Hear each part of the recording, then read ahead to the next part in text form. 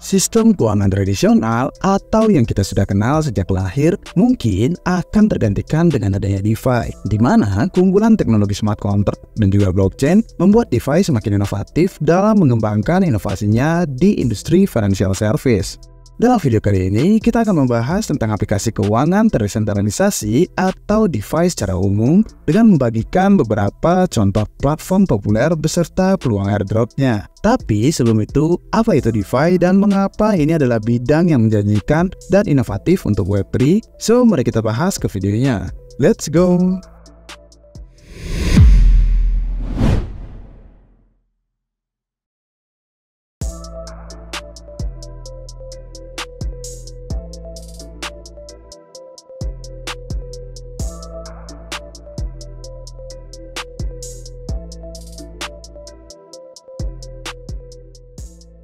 Decentralized Finance.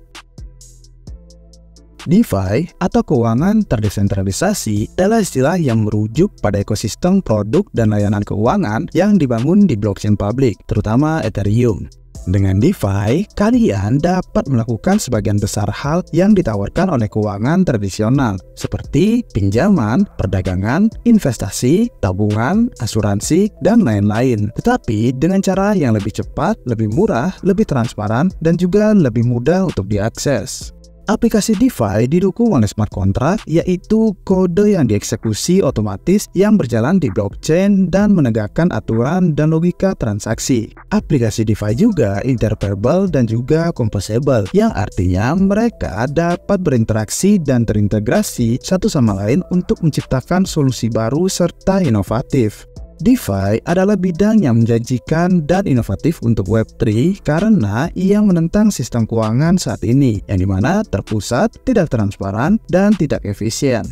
DeFi memberdayakan pengguna untuk memiliki kontrol penuh dan kepemilikan atas uang serta aset mereka, yang di mana tanpa mengandalkan perantara atau pihak ketiga.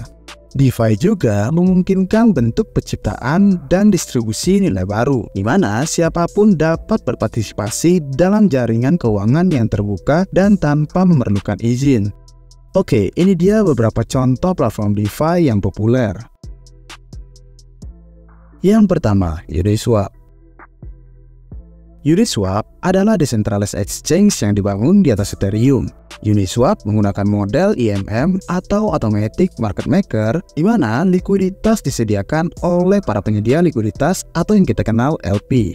Beberapa fitur Uniswap yang pertama memungkinkan perdagangan otomatis token ERC20 tanpa memerlukan order book. Yang kedua, penyedia likuiditas mendapatkan fee dari setiap transaksi. Yang ketiga, interface yang mudah digunakan. Yang keempat, mendukung berbagai macam token di Ethereum. Yang kelima, telah menjadi DEX yang paling populer di Ethereum. Yang kedua ada AAV. AAV adalah protokol pinjaman dan pendanaan tersentralisasi di Ethereum yang di mana memungkinkan pengguna untuk meminjam dan meminjamkan berbagai kripto aset.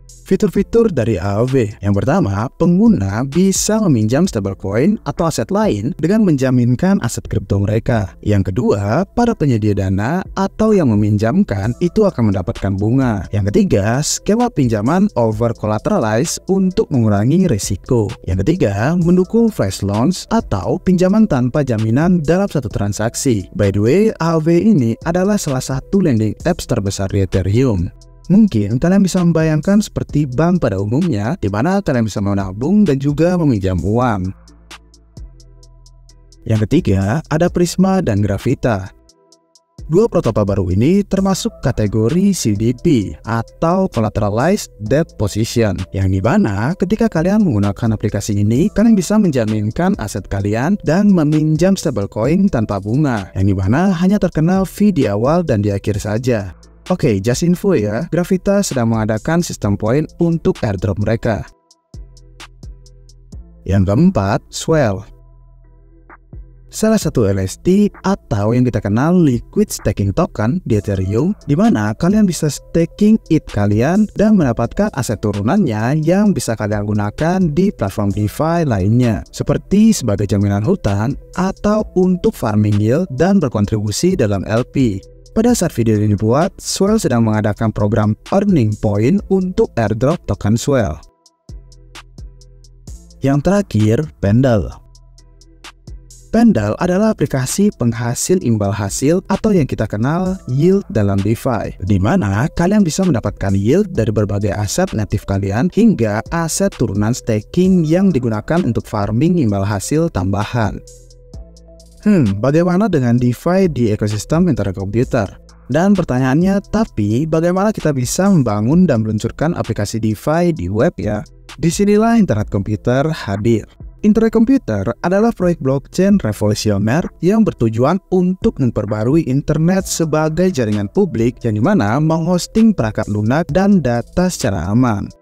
Internet komputer juga mendukung pengembangan dan peluncuran aplikasi DeFi dengan menyediakan fitur-fitur berikut. Yang pertama, smart contract sinister. Internet komputer dapat menjalankan berbagai jenis perangkat lunak sebagai smart contract sinister, di mana merupakan bandel kode dan data yang berjalan di jaringan. Smart contract sinister dapat mengimplementasikan berbagai logika dan fungsionalitas DeFi menggunakan interface dan standar protokol. Yang kedua, siklus. Internet komputer menggunakan siklus sebagai unit komputasi yang menggerakkan smart contract sinisternya. Siklus dibuat dengan membakar token ICP yang merupakan aset kripto asli dari jaringan ICP. Siklus juga dapat digunakan sebagai alat tukar dalam transaksi DeFi karena memiliki nilai yang stabil relatif terhadap komputasi. Yang ketiga, identitas internet. Internet komputer menggunakan identitas internet sebagai sistem autentikasi yang aman dan juga ramah pengguna, yang di mana memungkinkan pengguna masuk ke smart contract sinister menggunakan perangkat mereka atau kunci keamanan. Identitas internet juga memungkinkan pengguna untuk mengelola aset DeFi mereka di berbagai aplikasi dan juga dompet. Oke, untuk menunjukkan bagaimana internet komputer memungkinkan pengembangan dan peluncuran aplikasi DeFi, biarkan saya menunjukkan kepada kalian dua contoh platform DeFi yang berjalan di internet komputer. Yang pertama ada Enso Finance dan yang kedua ada Tonic Labs. Enso Finance adalah alat DeFi untuk membuat strategi perdagangan permissionless. Ini memungkinkan pengguna menggabungkan beberapa transaksi menjadi satu transaksi atom, yang di mana akan menghemat waktu dan juga biaya gas. Pengguna juga dapat mengakses seluruh ekosistem DeFi hanya dalam satu klik melalui interface mereka, serta melalui API atau SDK. Enso Finance menyederhanakan pengalaman pengguna dengan menyediakan berbagai alat seperti farming, liquidity provisioning, swapping, lending, borrowing, dan lainnya. Tonic Labs adalah layanan web terdesentralisasi yang membantu pengguna untuk membangun, meluncurkan, dan mengembangkan bisnis berbasis NFT di Web3. Platform ini menyediakan berbagai produk seperti Stoic Wallet yang merupakan dompet kripto serbaguna untuk internet komputer. Exponent yang merupakan platform token untuk membuat token custom. Epic NFT yang merupakan pusat pemikiran dan inovasi untuk para NFT. Tonic Games yang merupakan platform permainan blockchain dan lainnya. Seperti yang kalian lihat, baik Enzo Finance maupun Tonic Labs adalah contoh bagaimana pengguna dapat membangun dan meluncurkan aplikasi DeFi di internet komputer dengan menggunakan smart contract sinister dan juga siklus. Mereka juga adalah contoh bagaimana pengguna dapat menggunakan identitas internet untuk mengakses dan mengelola aset DeFi mereka. Tapi, ini bukan satu-satunya contoh platform DeFi di internet komputer. Masih ada banyak lagi aplikasi lain yang memungkinkan pengguna untuk membuat dan meluncurkan produk DeFi mereka sendiri. Berikut beberapa tips dan sumber daya untuk developer yang ingin memulai meluncurkan produk DeFi mereka di internet komputer. Yang pertama, pelajari cara menulis kode dalam Motoko. Motoko adalah bahasa pemrograman yang dirancang untuk internet komputer. Motoko memungkinkan para developer untuk menulis smart contract sinister yang dapat mengimplementasikan berbagai logika dan fungsionalitas DeFi menggunakan interface dan juga standar protokol. Yang kedua, gunakan Divinity Explorer untuk memantau dan mencari informasi tentang blockchain di internet komputer, seperti blok, transaksi, subnets, node, sinister, neuron, proposal, dan lain-lainnya. Yang ketiga, gunakan Radar untuk menemukan dan menjelajahi platform DeFi terbaru dan yang terbaik di berbagai blockchain, termasuk di internet komputer. Yang keempat, bergabunglah dengan komunitas dan forum seperti Reddit, Discord, atau Twitter untuk tetap update dari informasi terkini tentang berita dan tren terbaru di ruang DeFi, serta untuk terhubung dan berinteraksi dengan para penggemar DeFi lainnya.